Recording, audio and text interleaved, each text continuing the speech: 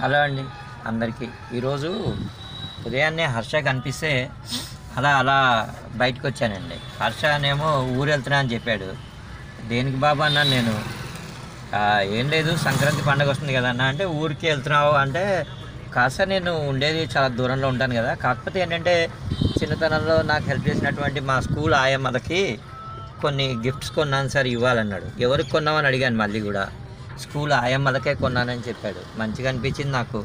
నిజమేనండి మనం చిన్నతనంలో ఉన్నప్పుడు మనకి ఎంత హెల్ప్ చేసేది ఎవరు?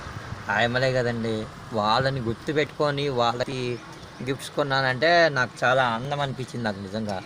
హర్ష ఒకవేళ మీ ఊరు దగ్గర అయితే నేను కూడా హర్ష అన్నాడు. అలా చక్కగా హర్ష ప్రయాణం తగ్గించుకుంటూ వస్తున్నాం. అలా వస్తుంటే ఒక చోట పాపం ఒక కుక్క పిల్లని ఒక బండి పాపం. చ- దాని తోటి చిన్న కుక్క పిల్లలు ఒక పెద్ద కుక్క దాని చుట్టూ మోగడం చాలా బాధ అనిపించింది నిజంగానే. జాగ్రత్త తీసుకొని ఉండే కొంచెం బాగుండేది అనిపించింది నాకు. పట్టించుకుంటారులేని అంటే కామన్ అదంతా ఇక పాపం. అక్కడికి హర్ష ఉండి బ్లూ క్రాస్ వాళ్ళకి ఫోన్ చేద్దామన్నా అన్నాడు. బ్లూ క్రాస్ వాళ్ళు వచ్చే టైంకి లేట్ అయిపోయి ఎక్కడికే పాపం ఆ పెద్ద కుక్క ఎవరిని దగ్గర రానికపోవడం ఇవన్నీ కూడా కాస్త మనసుని కలిసివేసినాయి అన్నీ కూడా. కాకపోతే హర్ష ఒక మాట చెప్పాడు.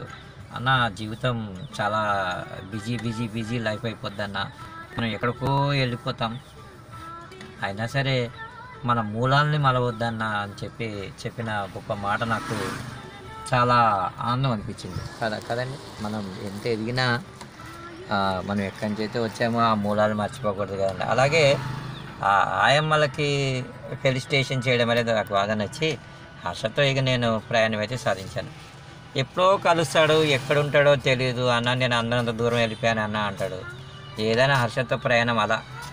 ప్రియ విద్యార్థి కదండి మరి? బాయ్ అండి అందరికీ.